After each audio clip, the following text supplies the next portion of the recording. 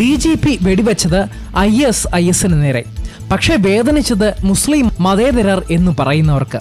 Loknath Behra I S I എസിന്റെ recruiting ഏജൻസികളും sleeper സെല്ലുകളും കേരളത്തിൽ ഉണ്ട് എന്ന് മാത്രമാണ് പറഞ്ഞത്. മുസ്ലിം സമുദായത്തെക്കുറിച്ച് ഒരു വാക്ക് പോലും ഡി ജി പി പറഞ്ഞിട്ടില്ല. പക്ഷേ എന്നിട്ടും മതേതര പാർട്ടി എന്ന് പറയുന്ന മുസ്ലിം ലീഗ് മുതൽ തീവ്രവാദ സംഘടനകളായ പോപ്പുലർ ഫ്രണ്ടിനും വംശനാശം സംഭവിച്ചുകൊണ്ടിരിക്കുന്ന പി ഡി പിക്കും വരെ ഹാലിളകിയെങ്കിൽ ഐ എസ് ഐ എസ് പോലുള്ള തീവ്രവാദ പ്രസ്ഥാനങ്ങളെ ഇവിടെ വെള്ളവും വളവും കൊടുത്ത് വളർത്തുന്നത് ഇവർ തന്നെ എന്നതിന് ഇതിൽ പരം തെളിവ് വേറെ തരേണ്ടതുണ്ടോ? ഐ എസ് ഐ എസ് നിരപരാധികളെ കൂട്ടക്കൊല നടത്തുമ്പോൾ അവർ ജൂതന്റെ സൃഷ്ടി.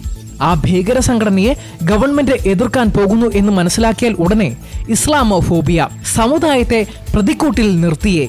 ഫാസിസം ഫാസിസം സമുദായത്തെ ഒന്നടക്കം ആക്ഷേപിക്കുന്നേ. ഓടി വായോ.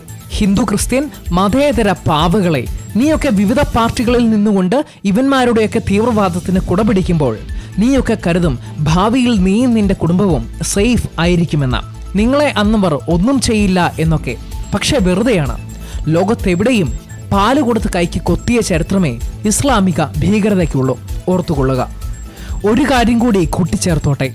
ഇന്ത്യയിലെ തന്നെ ഏറ്റവും മികച്ച ഒരു പോലീസ് സേനയെ നയിച്ചവരും പ്രധാന സ്ഥാനം അലങ്കരിച്ചവരുമായ മൂന്ന് ഉദ്യോഗസ്ഥർ. ചില സത്യങ്ങൾ തുറന്നു പറയാൻ സർവീസിൽ നിന്നും വിരമിക്കുന്നതുവരെ കാത്തിരിക്കേണ്ടി വന്നത് എന്തുകൊണ്ടാണ്? ഇവർ പോലും സർവീസിൽ ഇരിക്കുമ്പോൾ തുറന്നു പറയാൻ മടിക്കുന്ന ആ ശക്തി ഏതാണ്? സർക്കാരിനും അധികാരികൾക്കും ഇതേപ്പറ്റി എന്ത് വിശദീകരണമാണ് തരാനുള്ളത്?